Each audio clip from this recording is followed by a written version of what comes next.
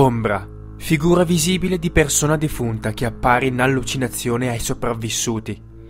Ombra, spettro, essere soprannaturale di solito malefico, immaginato dalla fantasia popolare. Queste sono alcune delle molteplici definizioni che vengono attribuite alla parola fantasma.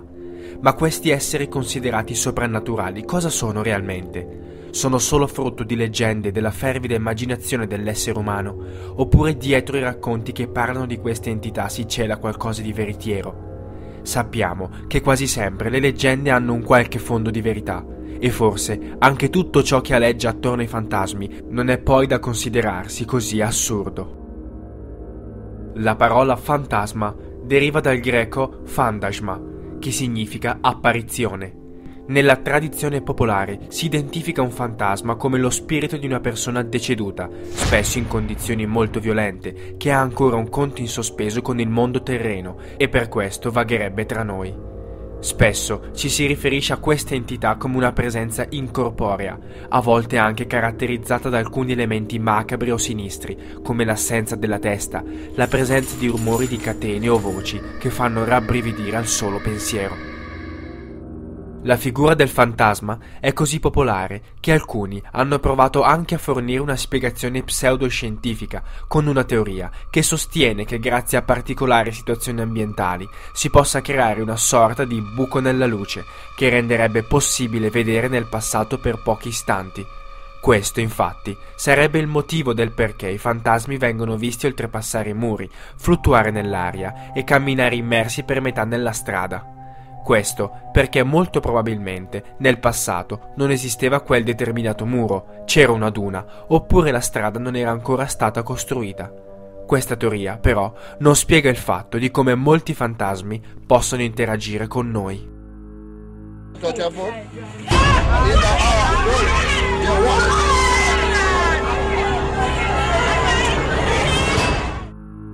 Al mondo esistono infinite storie di fantasmi e una miriade di persone che giurano di aver avuto un contatto con essi. Ma oggi ci soffermeremo su una storia in particolare, forse la più famosa in Italia, ovvero la storia del fantasma di Gwendalina, meglio nota col nome Azzurrina. La leggenda di Azzurrina viene tramandata oralmente ormai da secoli dagli abitanti di Montebello di Toriana, una frazione del comune di Poggio Toriana in provincia di Rimini. Come si sa, in questi casi il racconto dei fatti accaduti non è mai fedele all'originale, ma subisce inevitabilmente una modificazione dovuta al tempo.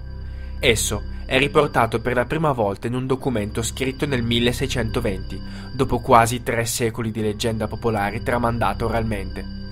Questo documento è conosciuto con il titolo di Mons Belli et Deline ed è custodito all'interno del castello stesso.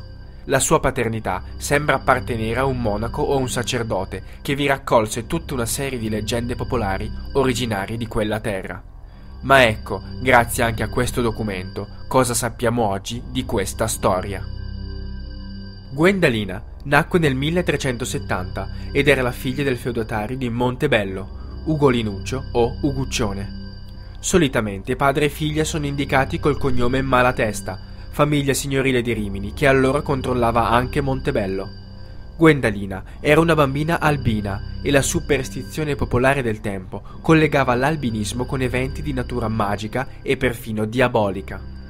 Per questo il padre aveva deciso di farla sempre scortare da un paio di guardie e non la faceva mai uscire dal castello dove abitavano per proteggerla dalle dicerie e dal pregiudizio popolare. Per tentare di nascondere la sua diversità, la madre le tingeva ripetutamente i capelli con pigmenti di natura vegetale. Questi, complici la scarsa capacità dei capelli albini di trattenere il pigmento, avevano dato alla bimba riflessi azzurri. Questa particolarità, unita al colore azzurro cielo dei suoi occhi, ne originarono il soprannome Azzurrina. Ma come mai si parlò tanto di questa bambina? Ebbene, la piccola, nel 1375, all'età di soli 5 anni, fu protagonista di un triste fatto di cronaca. Era il 21 giugno, il padre era fuori in battaglia e Azzurrina, come sempre vigilata dai due armigeri, stava giocando nel castello di Montebello con una palla di stracci, mentre fuori infuriava un temporale. Ad un certo punto, la palla con cui la bambina stava giocando cade rimbalzando per le scale che portavano alla ghiacciaia sotterranea. Così Azzurrina la rincorse nel vano tentativo di recuperarla. Ma all'improvviso le guardie sentono un urlo lancinante capiscono che proveniva dalla ghiacciaia e corrono nel locale entrando dall'unico ingresso. Essi però non trovarono traccia né della bambina né della palla. Il temporale sarebbe cessato con la scomparsa di Azzurrina e il suo corpo non è mai stato ritrovato. Qui finisce la tragica storia di Gwendalina e inizia la misteriosa leggenda di Azzurrina. E si narra che, allo scadere del solstizio estivo di ogni lustro, un suono proveniente da quel sotterraneo cunicolo si faccia ancora sentire. 1990. Il castello è aperto al pubblico da appena un anno. Ciò nonostante, la leggenda è già di dominio pubblico. C'è chi si schiera subito a sostenerla ciecamente, c'è chi la contesta. Molti la temono, altri la deridono, ma tutti ne parlano. È il 21 giugno di quell'anno, quando una troupe televisiva della RAI girò un documentario all'interno del castello.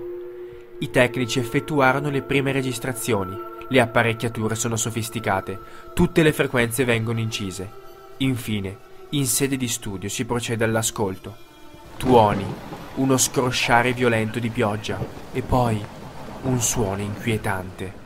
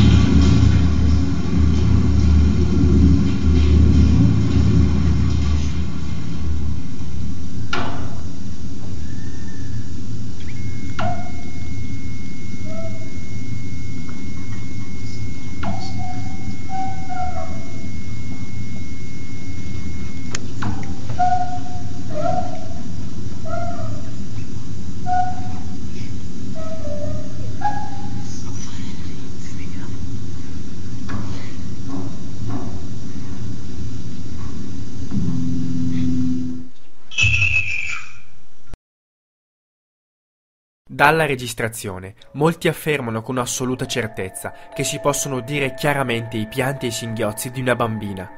I più scettici, invece, ritengono che tali suoni siano semplicemente il risultato del vento che si fa strada tra i cunicoli più stretti del castello.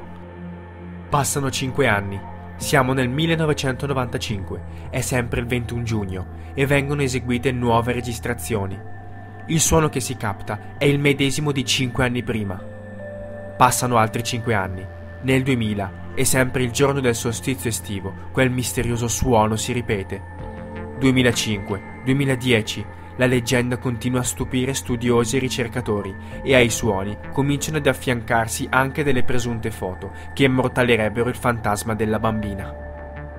I due scatti che state osservando sono stati effettuati con una macchina compatta modificata per vedere anche gli ultravioletti e gli infrarossi e in essi compare una figura chiaramente riconoscibile. È senza dubbio una bambina. Si distinguono il volto delicato, i capelli sciolti sulle spalle, le maniche ampie, del vestito dalla gonna lunga e gonfia. Dunque, se escludiamo la beffa volontaria e la suggestione, che altra spiegazione rimane? Questa immagine lattiginosa, evanescente ed eterea, può essere davvero uno spettro? È il fantasma della piccola scomparsa sette secoli fa? La storia di Azzurrina è di certo una delle più affascinanti sui fantasmi in Italia. Crederci o no, poco importa. La superstizione, la vita dopo la morte e la suggestione hanno reso il castello un luogo di culto per gli appassionati del paranormale, per studiosi del campo e per tutti quei turisti alla ricerca del brivido. Se ti è piaciuto questo video, metti mi piace e iscriviti al nostro canale. Ringraziamo tutti coloro che ci hanno seguito nel nostro percorso quest'anno. Ci vediamo l'anno prossimo con una bella novità. Inaugureremo infatti una nuova categoria. Buon anno a tutti.